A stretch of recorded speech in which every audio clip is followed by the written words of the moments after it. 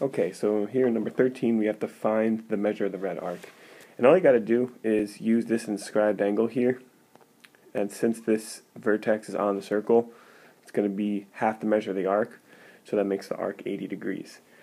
Now, someone asked, um, why isn't it, why is it 80? Can it be 95? Because wouldn't this angle, since this arc would be 90, this angle is also inscribed in that arc, so that would be 45, which would make this angle up here um, 45 plus 40 is 95, so this would be 85. So then that adjacent angle would be 95. So why wouldn't, why is this angle different from the arc it intercepts? And the answer to that question is we can't assume that this green point is the center of the circle.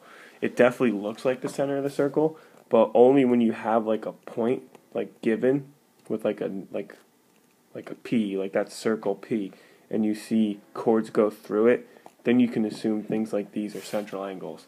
But if we look back at the original picture, this this picture doesn't give us enough information to assume that that's the center.